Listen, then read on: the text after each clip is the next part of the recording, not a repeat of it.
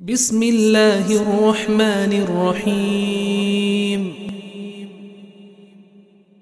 In the name of Allah, the most gracious, the most merciful. سبحان الله والحمد لله ولا إله إلا الله والله أكبر Par excellence presents لله ولا إله إلا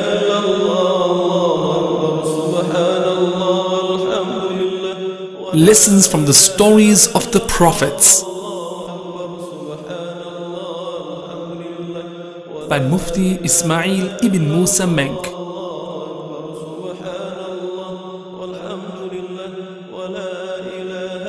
Musa alayhi salam and Harun alayhi salam, part 1. Moses, peace be upon him, and Aaron, peace be upon him, part 1. السلام عليكم ورحمة الله وبركاته. بسم الله الرحمن الرحيم الحمد لله رب العالمين والصلاة والسلام على أشرف الخلق أجمعين نبينا محمد وعلى آله وأصحابه والتابعين ومن تبعهم بإحسان إلى يوم الدين وبعد. All praise is due to Allah subhanahu wa ta'ala, blessings and salutations upon Muhammad sallallahu alayhi wa sallam. We ask Allah subhanahu wa ta'ala to bless him and all his family members. We ask Allah subhanahu wa ta'ala to bless all his companions. And we ask Allah subhanahu wa ta'ala to bless all those who have struggled and strived to bring this deen to us. And we ask Allah subhanahu wa ta'ala to bless us all and our offspring, those to come up to the last of time. May Allah subhanahu wa ta'ala keep us steadfast on the right path. Beloved brothers and sisters, as we had promised, this evening we will be speaking about a very, very important messenger of Allah subhanahu wa ta'ala.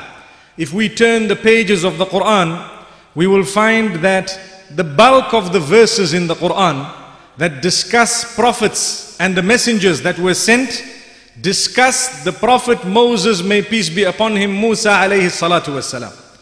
He is mentioned in 124 places in the Quran. And Allah subhanahu wa ta'ala has mentioned his story in so much detail. And one of the surahs where there is great detail is known as Suratul Qasas. Al Qasas meaning the stories. What stories and why is it plural? It's important for us to know that he is the only messenger discussed in the Quran in so many different stages of his life. Starting from the very beginning, when he was born, and later on as he grew up, and thereafter, when he left this, the area that he had grown up in for a certain reason, inshallah, we will come to that this evening. And he went away, and what happened in Madian when he went to Madian, and thereafter when he came back, and how he was sent to Fir'aun and the message to the Pharaoh or Fir'aun. In the Arabic language we say Fir'aun, in English we say Pharaoh. And thereafter the response and so on. And after they were successful and victorious over the Pharaoh, what happened between him and his own people, Banu Israel? So all this is mentioned and these are the different stages that Allah subhanahu wa ta'ala speaks about. So we will inshallah concentrate on Surah Al-Qasas and we will also take verses from other places in the Quran. Allah subhanahu wa ta'ala makes mention of the tyrant of the time. The one who used to say, Ana rabbukumul a'la. I am your God. I am the highest deity that you could ever have. This was the statement of the Pharaoh. He used to say, I am the highest deity that you have. وقال فرعون يا أيها الملأ ما علمت لكم من إله غيري Pharaoh told all his chiefs that, Oh my chiefs, I don't know of any God for you people besides me. Astaghfirullah. Look at how he was. He knew that he's a human being. He knew he had the same needs of nature that everyone else had. And he knew that he was also prone to sickness and so on. But at the same time, he was too haughty, very, very high. So Allah subhanahu wa ta'ala says, طاسيم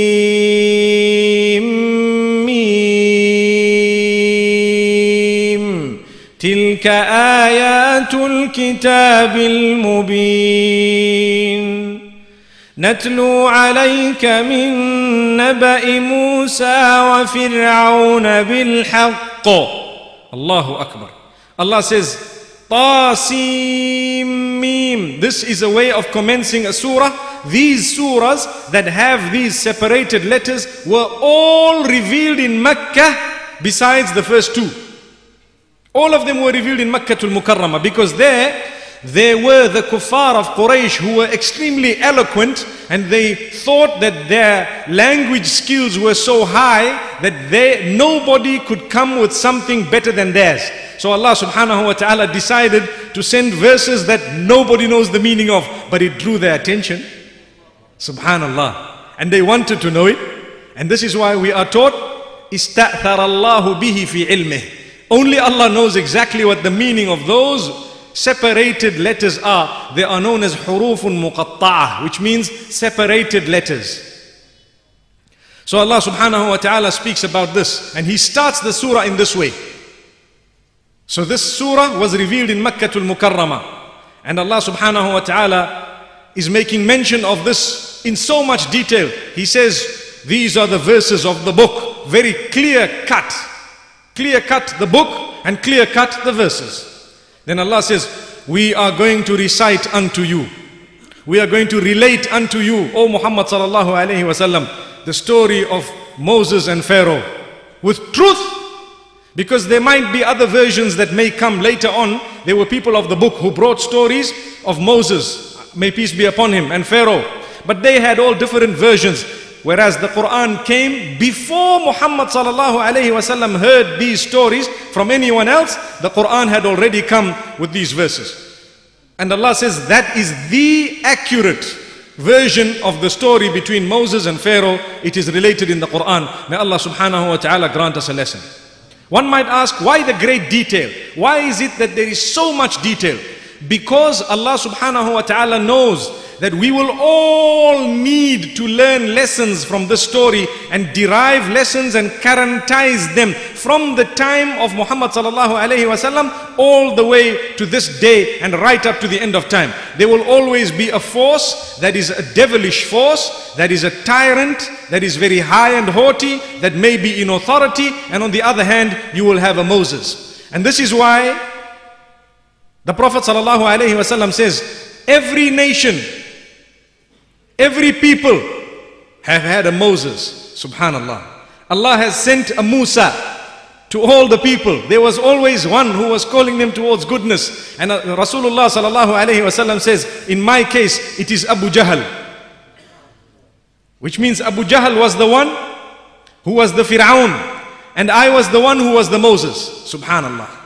Look at how the explanation is. Allah subhanahu wa ta'ala is giving us both forces. The force that calls toward goodness and the force that fights anybody who calls towards goodness. May we ask ourselves the question. Which category do we fall in? Do we call people towards goodness? Or do we fight those who call us towards goodness? First question, subhanallah. So we learn this lesson from the surah. Which side are we on? Let us become absolutely conscious of this at all times. When someone calls us towards goodness, do we get angry and upset? If that is the case, where do we belong? Allahu Akbar. And when we see evil, do we, do we at least feel in our hearts that this is wrong? Or do we also cheer it along and become part of it? So Allah subhanahu wa ta'ala says, إن فرعون علا في الأرض وجعل أهلها شيعا Indeed, Fir'aun he was very haughty on earth. He thought himself to be something very high and very great. He thought that he was the big boss. He was the one who decided. In fact, he said, I am the God. You worship me and that's it. So Allah says, جَعَلَ أَهْلَهَا شِيَعًا On the land, He made the people on the land different groups. He classified them. So He was right at the top. Then He had His chiefs. They all worshipped Him those chiefs of his. And he allowed them to get close and they helped him sometimes in decision making and so on. He had meetings with them at times and he allowed them to ask him questions. Now if he was a god why would he need to consult? Allahu akbar. Why would he need to consult? So it goes to prove that he knew for a fact that he's not at the top. And Allah subhanahu wa ta'ala says thereafter he had other categories. There were those who worshipped him whom he enslaved. So they were his slaves and worshippers. Astaghfirullah. They considered him a god and they slaved for him. And then there were those who served him who were professional in a certain way where he needed them, such as the magicians who came later on, who were worried about what they would earn if they could benefit him in one way or another. It is reported, and this is something that is common sense. Some of the ulama have spoken about the common sense behind this statement that Fir'aun says he's the God being utterly unacceptable, even within, within his, himself. If we study it, later on when he needed to face Musa alayhi salam, he wanted to bring magic. If he was the God, couldn't he bring it himself? But he had to call on magicians. So it goes to show he is so silly. On one hand, he's telling the same magicians, I'm your God. And the other hand, he's saying, hang on, we need to face the man. Bring up whatever you people have. Why would he do that? So look at how high the man is, but his brain is knocked. May Allah subhanahu wa ta'ala safeguard us. Sometimes when we think we know too much, in reality, our brain becomes covered. And then we start sounding like a fool. May Allah subhanahu wa ta'ala protect us. We always need to draw lesson and inspiration from revelation because Allah subhanahu wa ta'ala reveals wahi. Wahi means revelation from Allah subhanahu wa ta'ala. There is no ways that the Quran can be wrong, not even a droplet. May Allah subhanahu wa ta'ala grant us lesson. So Allah says He divided His people and then He had those who were slaves who did not worship Him, but they were slaves and they knew that this one is not our God. They were part of Banu Israel, the children of Yaqub, the children of Jacob. And we had these Egyptians who were on this side, Fir'aun's side. May Allah subhanahu wa ta'ala protect us all, really. Then we had those who were outright enemies. Anyone who defied Fir'aun in any way, even prior to their birth, he got rid of them. Which means if he felt there is a defiance against me, within a fetus, before it is actually given birth to, he made sure as soon as it came, it was destroyed. Allahu Akbar. This policy up to this day, it lasts. And Allah subhanahu wa ta'ala is revealing these verses to us to learn a lesson. Remember, I might not be able to currentize absolutely every verse, but you can do that within your mind, within your heart. You know how it will fit into our condition. May Allah subhanahu wa ta'ala help us and open our minds and hearts. Remember, if you read the story again and again and again, Allah subhanahu wa ta'ala will open your understanding. It's important. So Allah subhanahu wa ta'ala says, يُذَبِّحُ أَبْنَاءَهُمْ وَيَسْتَحْيِي نِسَاءَهُمْ إِنَّهُ كَانَ مِنَ الْمُفْسِدِينَ Some of them he considered them slaves, the weaker ones. He took them as slaves and he used to slaughter their boys. A little boy was born, cut and thrown out. And he used to allow the little girls to live.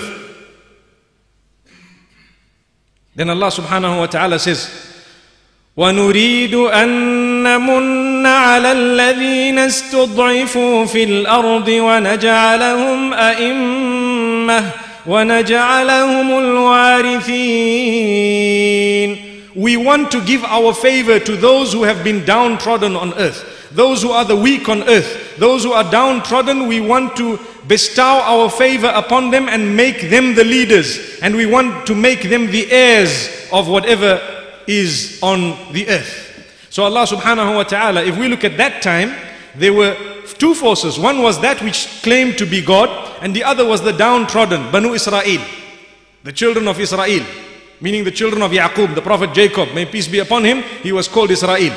And Allah subhanahu wa ta'ala says that we wanted to give our favor to these who were downtrodden and make them a'imma and leaders, bring them up and let them inherit whatever came from this particular side. And even more. Now the lesson for all of us, those who think they are haughty, their days are numbered. Their days are numbered. They cannot continue in that oppression forever. Allah subhanahu wa ta'ala will make it stop. And one day, there will be those whom they considered low will be above them. This is the plan of Allah subhanahu wa ta'ala. This is why we as Muslimin are taught to be good to one another. You never know when the tables can turn. Really. So Allah subhanahu wa ta'ala says, وَنُمَكِّنَ لَهُمْ فِي الْأَرْضِ And we want to establish them on earth. Who? Those who were downtrodden for so many years. We want to establish them on earth.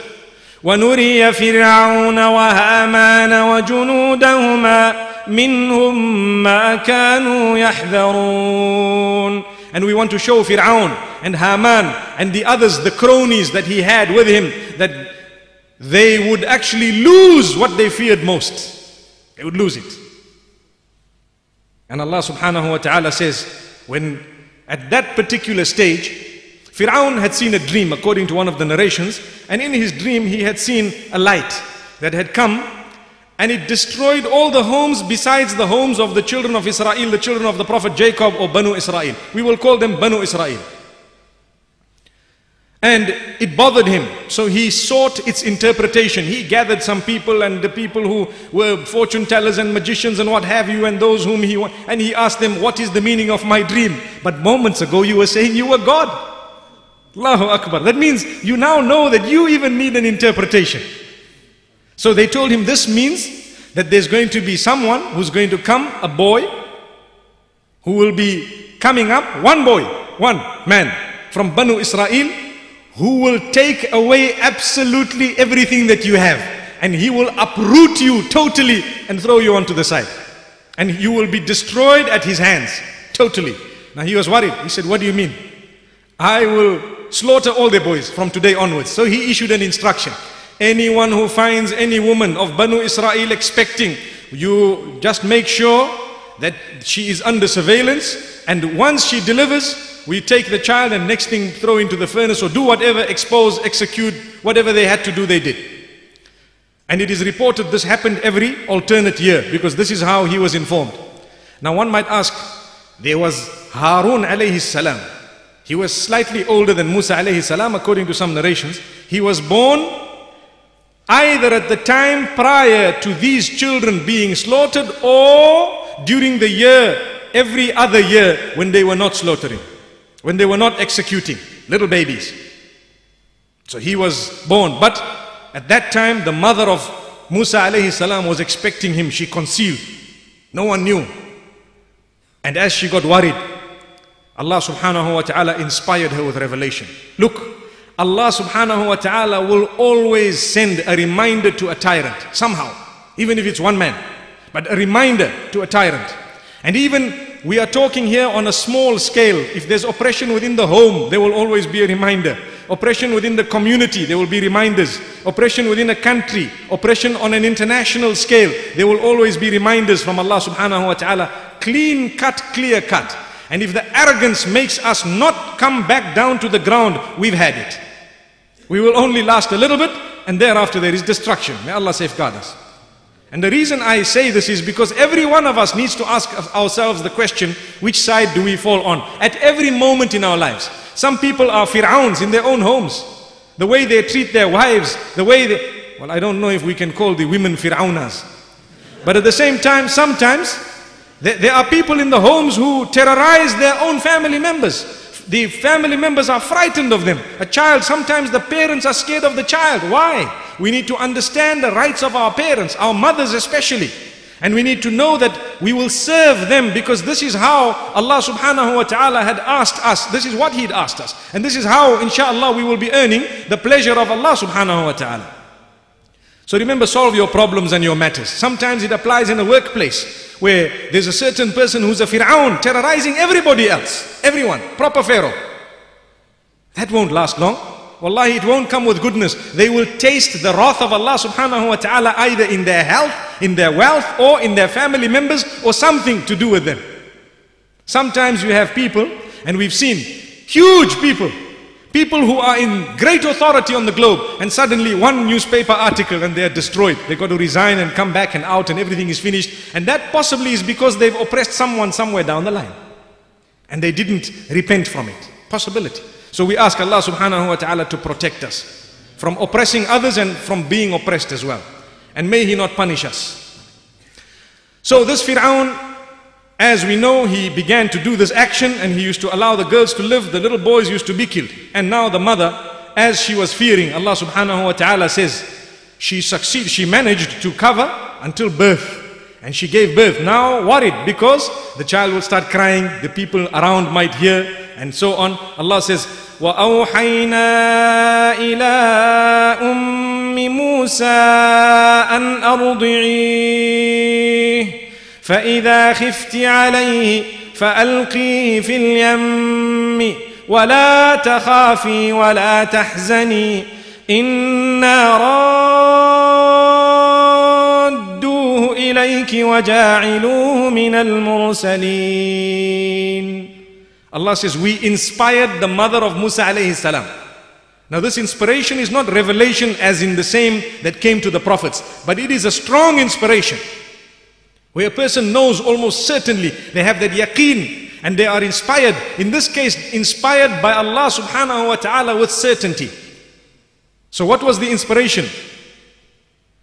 Breastfeed the child, continue breastfeeding the child when you fear for the child, either because of whatever reason creates that fear. Maybe the child might cry, or you are fearing someone might come and take the child. And because it is a family of Banu Israel, what happened is they would immediately take the child into execution and they would destroy the child.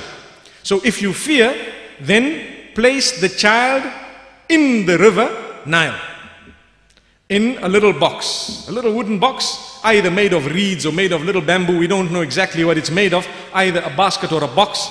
And Allah subhanahu wa ta'ala instructed the mother to place the child and to put the child into the Nile. And Allah says, Don't worry and don't be sad. So Allah instructed her, saying, You breastfeed him, and if you're fearing, then you put him into the Nile in this specific manner. And then Allah says, and do not worry and do not be sad. Not at all. We will indeed return him to you. We will return him to you at a specific stage. And we will make him from amongst those whom we will send with a message. So she knew. Now, which mother would not be feeling in her heart a worry and a concern who would ever take their child and say, right, this is a lake. You know, the Nile is huge. Even if it's a little lake around here. Say, right, let's just test this. Just what happened to the Prophet Moses. Put your child in waterproof little, you know, box which is completely sealed with oxygen and everything and leave it there and stand and wait. Would anyone do that? No, not at all. Not even. They wouldn't even think of it. And Allah says, now we inspired her to do this. Now this has to have been solid, powerful inspiration because without it, that wouldn't have happened. So she came, she prepared the box and she placed the child by the will of Allah. And Allah subhanahu wa ta'ala speaks about how He guided, how He guided this, this little, mashallah, basket if we call it, or a wooden box if we call it. Imagine any one of us who's been to Egypt and seen the Nile, huge river, with lots of people living all over the show. Imagine it actually went, it was gliding, it, it was floating, and nobody picked it up, not at all. And where did it land? It landed specifically at a spot designated by Allah subhanahu wa ta'ala. This shows that Allah is in control of absolutely everything. You know, we spoke about the dua of the Prophet Noah, Bismillahi majreha wa mursaha. In the name of Allah, it will start, and in the name of Allah, it will stop. This thing started in the name of Allah and it stopped in the name of Allah subhanahu wa ta'ala. It lodged itself on the bank right at the doorstep of Fir'aun's own house. Now I guess most probably, it's not from a kitab or anything, but we are just trying to visualize it. If you tried to get to Fir'aun's palace, it would probably be difficult on land. You would have to pass so many checkpoints or what have you. But when you came from the sea, it went straight there and it landed in his backyard. Straight there, subhanallah. And they didn't have children. Fir'aun was not blessed with kids. One might ask, well, which one of the pharaohs was it? And all that we don't need to know. Whether it was Ramses II or not, we don't really need to know. If it was not explained to us by the Prophet ﷺ or by the Quran, we don't need to know it. It is not of essence. So Allah subhanahu wa ta'ala thereafter says, Allahu Akbar. فالتقطه آل فرعون ليكون لهم عدوا وحزنا It was picked up by the wife of Firaun, family of Firaun, without knowing that this is going to be a point and a source of enmity and sadness for the Pharaoh. So she didn't know. Now Musa alayhi salam, for your information, was dark in complexion. He was dark in complexion according to what Rasulullah sallallahu says. And later on the Prophet sallallahu describes him as a well-built, solid, strong man with a beard. And he was dark in complexion. Musa alayhi. Very strong. You can imagine he grew up in the Fir'aun, in the Fir'aunic palace, so to speak. In the early stages of his life, probably being fed, mashallah. And he was a big man. Powerful, powerful person. We'll come to see that a little bit later. So Allah subhanahu wa ta'ala speaks about him as helpless as he was at this stage, but he was being protected by Allah subhanahu wa ta'ala. Nothing anybody can do to you or your child except by the will of Allah. Allah is in control. May Allah subhanahu wa ta'ala guide us all and give us a deep understanding. So she picked the child up and Allah says, إن فرعون وهامان وجنودهما كانوا خاطئين Indeed, Fir'aun and Haman. Haman was one of his closest ADs. And Allah says the armies belonging to the two of them were definitely wrong. Imagine a superpower, a massive force who called himself God. Who called himself God. He made the decisions. And Allah says, We're going to send you one man. One man. Allahu Akbar. And here is the little child, nobody knows, they don't know. And Allahu Akbar, it's just Allah subhanahu wa ta'ala and His will. Now the child comes picked up by the wife. Fir'aun is skeptical, but he wants to make his wife happy because they had no children. So she looks and says, Oh, what a wonderful baby. وقالت امرأة فرعون قرة عين لي ولك لا تقتلوه عسى أن ينفعنا أو نتخذه ولدا The wife of Fir'aun says, Oh, this is the coolness of my eyes and yours. Look, a child, as though it's God sent. We don't have children. Maybe we will be able to benefit from this child and even consider him our own son. Look at this. Had he had so many children, this wouldn't have happened. But Allah subhanahu wa ta'ala kept it a specific way because Allah's plan was already there in place from a long, long time before. Allah gives us a chance. And Allah subhanahu wa ta'ala knows how many chances He's going to give us. But we don't know. So we'd better make most of the chances we have at hand because that's what we know are there or is there. May Allah subhanahu wa ta'ala grant us the ability to seize the opportunities to turn to Him and not to wait until it is too late. So Fir'aun was very skeptical and so on. You know, it is reported, it, it is a Hebrew narration. It is reported that Fir'aun, we have this narration that we've heard. We report, it is reported that Fir'aun wanted to test the child because he was very skeptical. So he looked at the child after a little while, after some time, and he says, let us put something that children would run towards or would go towards, would crawl towards on one side, and the fire is on the other side, if this child goes towards that which the children go towards normally, then this child is like every other child and we will have to execute the child. And if the child goes towards the fire and picks up the little piece of coal, then that means this child here really won't be able to do any harm because it doesn't know what is right from wrong from this age and it, it doesn't even have that common sense. In that case, we will keep the child. So it is reported, it is said by the historians that Musa alayhi salam, when he was put down, he crawled towards, and this was a little bit later on, he crawled towards the coal and picked it up, and this is how he burnt himself, and this is why he had a stutter later on. But Allah knows whether that is actually accurate or not. We've mentioned it because later on he did have a stutter and he did have some form of a knot which prevented him from being so eloquent. So Allah subhanahu wa ta'ala says when the child was picked up, now the child began to cry for milk. So now they're trying to breastfeed. Any woman who'd given birth, they tried the child to suckle. But the child refused. One, refusing. Two, refuse. They brought whoever they could, refuse. Everyone is refusing. Allahu Akbar. They're all refusing to suckle. Meaning he is refusing from them. And they're all trying in their own beautiful ways and everybody came. What an honor. They could have made a lot of money from the Pharaoh. Yes, the people around Fir'aun, they wanted to make a lot of merchandise from him. And they wanted to be close to him so that they could also have, you know, they had a hierarchy system, the pyramid scheme, the pyramid system. Right at the top there's one, only one fits anyway.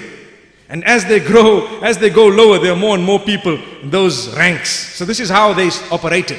So Allah subhanahu wa ta'ala speaks so beautifully about what happened. And Allah subhanahu wa ta'ala says, We sent the sister of Musa alayhi salam to go into the palace. She went into the palace and found that they are looking for someone to breastfeed the child. She says, Hang on, I know someone who is such a good mother she will breastfeed in such a way that this child will definitely drink. They said, no, no, no, bring her, bring her, straight away, bring her. Look how Allah's plan is. Allah told his mother, don't worry, put him down, we're going to return him to you very soon. He'll come back, don't worry. Moments had to pass, she was there in the palace, and subhanallah, she sat and he began to suckle. They were shocked, they were all shocked. So Fir'aun is asking her, how is he suckling from you? Who are you? Now she didn't want to lie. And at the same time, had she told the truth, it was the end of all of them. So she says, look, I have some very sweet milk and no child has ever refused my breast. Not at all. So she avoided the question and she answered in a beautiful way and this child began to suckle and Allah subhanahu wa ta'ala says, فرددناه إلى أمه كي تقر عينها ولا تحزن ولتعلم أن وعد الله حق We returned him to his mother in order to, for him to be the coolness of her eyes. And so that she would not be sad, and so that she would know that the promise of Allah is definitely true. Now, how many of us, when Allah subhanahu wa ta'ala has told us, you do good deeds, Allah will reward you. But we do good deeds and then we say, I'm still suffering in life. Why do we lose hope? How many of us, we do good deeds and we say we're still suffering? No, remember, وَعْدَ اللَّهِ حَقٍّ Allah's promise is the truth. It will come when the time is right. Don't worry. Sometimes we have to also let go. I want to spend a moment speaking to those who've lost their children at an early age. Don't worry, a day will come when Allah will unite you with those children in the akhirah. We've not lost them for good. We're all going. We're all going in one direction. Everybody's heading in one direction. Nobody's telling me I'm going closer to birth. You know? This is why they say, how old are you? They don't say how young are you? Allahu Akbar. Because you're getting older. And then you say I'm 21 years old. You don't say I'm 21 years young. Because you know you're getting older and older.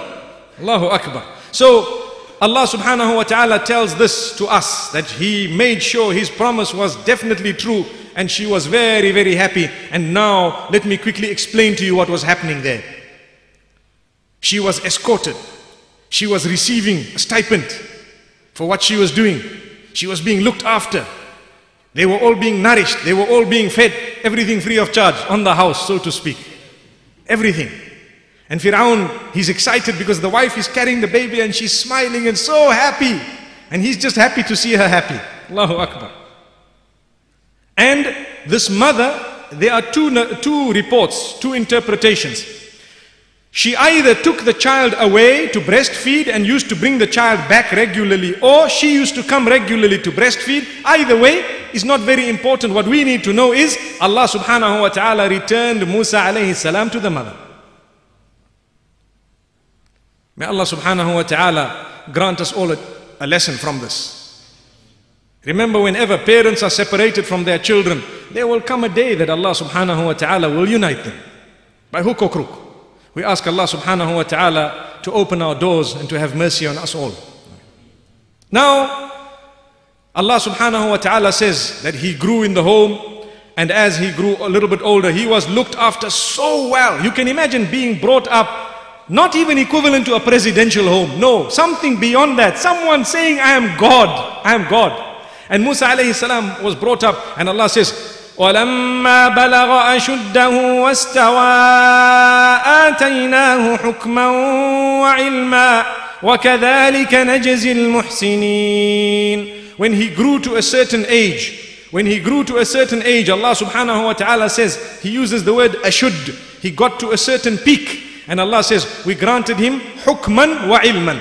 Hukman meaning the ability to distinguish between what is right and wrong, that wisdom, that authority, that understanding and knowledge as well over and above that.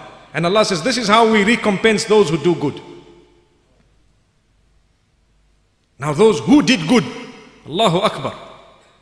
The mother of Musa alayhi salam did good by obeying the instructions of Allah. And Musa alayhi salam himself being young, he had grown up firmly believing in his heart that this man here is not God and he's not even a part of God and he is nothing but a normal human being and he was intact within. He already knew who he was, he knew his true identity and he always worshipped the one and only creator. In the face of all this adversity, and in the face of being, of living within an environment that constantly reminded one of this person claiming to be God, he still maintained that belief of his and it was intact. This is the reward of Allah. So with us as well, no matter what environment we go into, our deen comes first. And let's make sure that nothing will shake our belief in Allah subhanahu wa ta'ala. Nothing at all. And we need to make dua to Allah subhanahu wa ta'ala and sacrifice in that regard as well. So Allah subhanahu wa ta'ala says, ودخل المدينة على حين غفلة من أهلها فوجد فيها رجلين يقتتلان He entered the city. Now he never used to go there often because he was from the elite considered. But when he entered the city, people would notice him immediately. So he went at a time when everyone was resting. Reported in the afternoon when they were resting, he came out. And he noticed two people fighting. هذا من شيعته وهذا من عدوه This was from Banu Israel, the one, and the other one was from the people of Fir'aun who considered Fir'aun a god and so on. So Allah subhanahu wa ta'ala says, the power of this young man, he was still young. فوكزه موسى فقضى عليه Allahu Akbar. Musa alayhi salam went a little bit further and gave this man one blow. And this man was dead. He died. Imagine one blow. Look at how powerful this man must have been. Allahu Akbar. Now to determine your power and mine, let's not go blowing people inshallah. But look at how powerful Musa alayhi salam was one blow, he did not intend to do anything more than fixing this man and trying to teach him a lesson. Hey, don't mess. But this went beyond what he had intended and it was unintentional completely. As soon as he saw this man drop dead, he says, هذا من عمل الشيطان إنه عدو مضل مبين. This is from shaitan's handiwork. Remember we said blame shaitan? Yes. This is from shaitan's handiwork. The devil has done this. The devil is an outright enemy. He leads astray. Clearly, he is an outright enemy. So he asks Allah subhanahu wa ta'ala to forgive him. Allahu Akbar. And Allah subhanahu wa ta'ala forgives Musa alayhi salatu wasalam. But there's a problem. Because now he's living in a little bit of fear. No one knows besides one man that he has done this, he went back. No one seen it. Everyone was resting. And what happened? Musa alayhi salam, the following day, he decided, let's go back into the city and see what's happening. So he went back the following day. And the next day, he seen two people fight again. And when he seen two people fight again, he noticed that the one who was from his people was the same man who was fighting yesterday. So Allah subhanahu wa ta'ala says, فلما أراد أن يبطش بالذي هو عدو لهما قال يا موسى الله أكبر When Musa alayhi salam wanted to go forth in order to deal with the crisis in a similar manner, this man says, Oh Moses, oh Musa, أتريد أن تقتلني كما قتلت نفسا بالأمس Do you want to kill me in a similar manner that you killed that man yesterday? Now everybody heard. Everybody heard. Cat is out of the bag. Oh Musa, you want to kill me just like you killed that man yesterday? Allahu Akbar. And he continued to say, إن تريد إلا أن تكون جبارا في الأرض وما تريد أن تكون من المصلحين. You only want to be a jabbar. A jabbar means a powerful tyrant. A tyrant. That's the right translation. In this particular context, context, when it's referring to a human being, it would mean it's a tyrant, one who has killed more than two people. And Allah subhanahu wa ta'ala says, وجاء رجل من أقصى المدينة يسعى A man from the inner part of the city came running to Musa alayhi salam. He says, Ya Musa, إن الملأ يأتمرون بك O Moses, O Musa alayhi salam, the chiefs, these big, big people, they are planning against you now. لِيَقْتُلُوكَ In order to kill you. They want to now kill you. فَخْرُجْ So please leave the city. Just go away and abscond. Leave now. Inni laka minan nasihin. I am definitely someone who's genuine. I have a genuine feeling for you. I am advising you with sincerity. Nasiha. So Allah subhanahu wa ta'ala says, فخرج منها خائفا يترقب قال رب نجني من القوم الظالمين so he left immediately. He didn't have time to prepare for this leaving. Not at all. Because Allah says, فَخَرَجَ مِنْهَا Soon as he was given this advice, he left. And he was gone out, walking out. Remember, he had not gone anywhere before this. So he didn't even know the roads very well. He just started walking. And he walked, it is reported, until his shoes were now worn completely. And he had got somewhere. So imagine what distance he must have covered. فلما توجه تلقاء مدين قال عسى ربي أن يهديني سواء السبيل When he walked towards Madian, when he faced Madian, he asked Allah subhanahu wa ta'ala to guide him. Praying that, Ya Allah, guide me to the path. Guide me towards some goodness on this path. And Allah says, ولما ورد ماء مدين وجد عليه أمة من الناس يسقون When he got to the, the well or the water of Madian, the place where they used to make their flocks drink from, the people of Madian, he saw this and he rested for a while. He'd seen everyone is making their flock drink water. ووجد من دونهم امرأتين تذودان قال ما خطبكما He saw two women as well. From all the men who were making their sheep drink, he'd seen two women. And those women, they were slightly behind. They were at the back. They were not in the rush of all the men. So he asked them, he looked at them and he says, What is it with the two of you? قالتا لا نسقي حتى يصدر الرعاء وأبونا شيخ كبير Look at how they answered. Look at how they answered. They said, look, we are not going to go and let our sheep drink or our flock drink until these people go back. And our father is an elderly man. Why did they add the second part of the statement? He didn't ask them, is your father old or young? Because primarily it's a man's job. So before he develops any thoughts, they thought, let's clarify it to say, look, the reason why we as women are standing here with these sheep and not the men of our house, because our father is very old.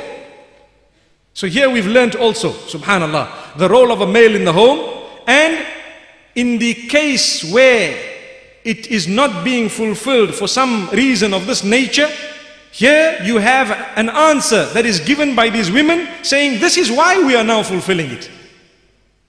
May Allah subhanahu wa ta'ala grant us a lesson. So he decided, okay, you people can sit down, let me do something. He went, he got some buckets of water and he let all this flock drink, all of them, he did it himself. And they, they took their flock and they went home. And Allah subhanahu wa ta'ala makes mention of this in a beautiful way.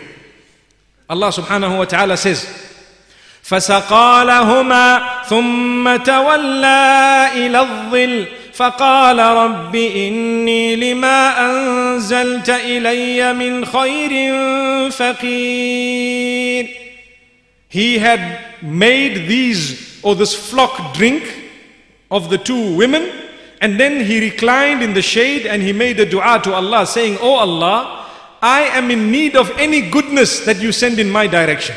I'm in need of goodness. I need something now. I need your help, Ya Allah.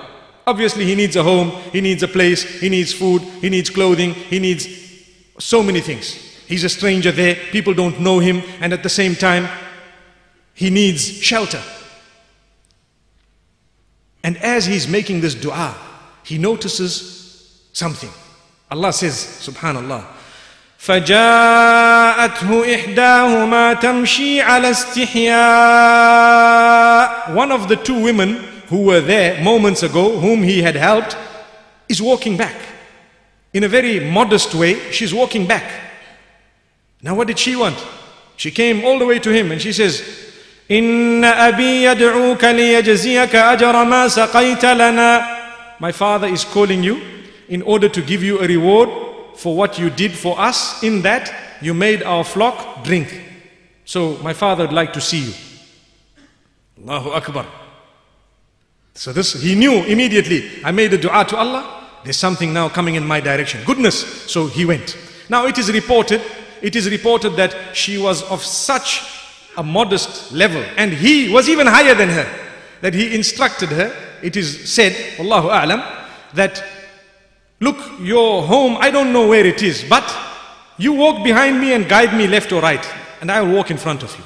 Just so that his eyes did not gaze around here and there. Musa alayhi salam. And what happened as a result? She knew this man is very pure. He is honest. Another thing is he's very, very hard working because we'd seen the work he did and he was stronger than all these men. We finished so quick today and that's why when we went back, our father asked us, how come you'd finished so quickly? And then they had told the story and he said, go back and call this man and let's give him something in return. He can't just do that for free. And Allah subhanahu wa ta'ala says, فلما جاءه وقص عليه القصص قال لا تخف نجوت من القوم الظالمين It is reported by some of the historians that this man was Shu'aib alayhi salam. And this was Madian. This was also a Nabi of Allah subhanahu wa ta'ala in Madian. This is what is reported. Obviously this is not in the Quran, nor is it in the Sunnah of Muhammad sallallahu alaihi wasallam, but the ulama and the historians from amongst the Muslimin as well are of the opinion, the bulk of them, that this was Shu'aib alayhi salatu wasalam in Madian. So Musa alayhi salam goes there and he narrates the stories. What stories? How he was born and what happened and who Fir'aun is and what he does and what he did and so on and why he had to come. And when he heard the stories, he says, La takhaf, don't fear, najota, you have been saved. You have been saved from those, from the people who are oppressors. You've been saved from these oppressors. Don't worry, come. So one of the young girls tells the father, قالت إحداهما يا أبت استأجره إن خير من استأجرت القوي الأمين One of the young girls tells the father, Oh my father, why don't you employ him? It is definitely best to employ someone who is strong and honest, hardworking and honest. And these two qualities to this day, if you want to employ someone who has these two qualities, your business will flourish by the will of Allah. If you have someone who's absolutely honest, but they're lazy, they're not hardworking, what happens? Your business slides. MashaAllah, the youngsters of today, come 11 o'clock, they're still snoring. Allahu Akbar. May Allah subhanahu wa ta'ala grant us protection. Sometimes I sit and I think, you know, we're going to have, nowadays we say 8 to 5. Soon it's going to be 1 to 8. Because the youngsters just don't get up. May Allah subhanahu wa ta'ala grant us a deep understanding. And if you have someone who's very, very hardworking, but he's not honest, what happens? It's a hole in the bucket, mashallah. As you're carrying it, it's releasing. So you're carrying it because you're very powerful, but you're just letting it drop as it's going. May Allah subhanahu wa ta'ala safeguard us. This man was honest and hardworking at the same time. So Allah subhanahu wa ta'ala says that Musa alayhi salam was told by this man, Shu'aib alayhi salam, إني أريد أن أنكحك إحدى ابنتي هاتين على أن تأجرني ثماني حجج فإن أتممت عشرا فمن عندك وما أريد أن أشق عليك ستجدني إن شاء الله من الصالحين Shu'aib tells this man, I want to get you married to one of my two daughters here. On condition that you serve me for eight years. You work for me for eight years. Please, let's not get ideas here. You don't tell your son-in-law, work for me for eight years. This we are talking of what Allah subhanahu wa ta'ala had sent as a blessing to Musa alayhi salam in the time of his need. And there was nothing wrong with it. And even up to this day, if someone really tells you that, and that's what they want from you, well, that's their condition. May Allah subhanahu wa ta'ala grant us people who make easy marriage and not difficult. Whenever there is marriage, the hadith, the Prophet ﷺ says, إِذَا جَاءَكُمْ مَنْ تَرْضَوْنَ دِينَهُ وَخُلُقَهُ فَزَوِّجُوهُ إِلَّا تَفْعَلُوهُ تَكُنْ فِتْنَةٌ فِي الْأَرْضِ وَفَسَادٌ عَرِيضٌ If someone comes to you with a proposal, whom you are satisfied with their level of deen and character, then get them married. If you are going to hinder it, there will be great corruption on earth and vice. So don't hinder. May Allah subhanahu wa ta'ala grant us, inshallah, the understanding and inshallah the ability to distinguish between what is beneficial for us and what is detrimental. So Allah subhanahu wa ta'ala says, He says, You work for me eight years. And if you want to complete 10 whole years, then that is from your own goodness. And inshallah, you will find me being a person who is also good, inshallah. You know, like the employer telling the employee and vice versa to say, don't worry, I will also be good to you. You also, you work properly, inshallah, and we have a good relation. And Allah subhanahu wa ta'ala does not give too much detail of how the working went. But what we do know for sure is he was now a shepherd and he had a flock and Allah subhanahu wa ta'ala trained him. And when Allah subhanahu wa ta'ala says through the lips of Muhammad sallallahu alayhi wa sallam, min nabiyyin illa wa ra'al ghanama. I think I mentioned this hadith at the beginning, that every nabi of Allah has been at some stage a shepherd where Allah has tested them and trained them through animals because the amount of patience you need with animals is far more. So now when you are sent to human beings to speak to them, it will be much easier for you to deal with human beings after you've been dealing with animals who couldn't even understand your language. So Musa alayhi salam received this training for 10 whole years.